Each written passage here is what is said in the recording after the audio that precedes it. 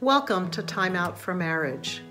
Last time I began to address the issue of elder care and the stress and strain that it can put on the marriage.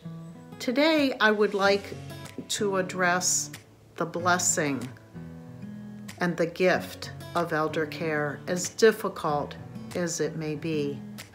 And this gift is the opportunity to learn to love when love is difficult and brings a lot of responsibility, and where sometimes we don't experience the mutual exchange of love, but we feel like we are the ones who are giving, giving, giving, and there's not much in return at this point.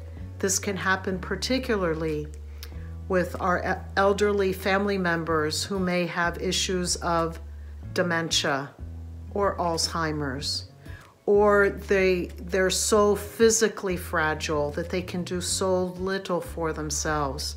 And we and or their other caregivers may have to do so much for them.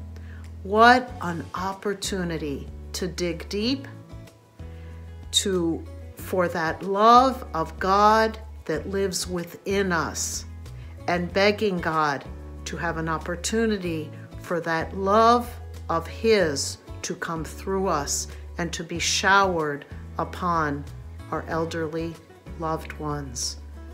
So, elder care involves, yes, much responsibility. And yes, it does put strain and stress on our marriages.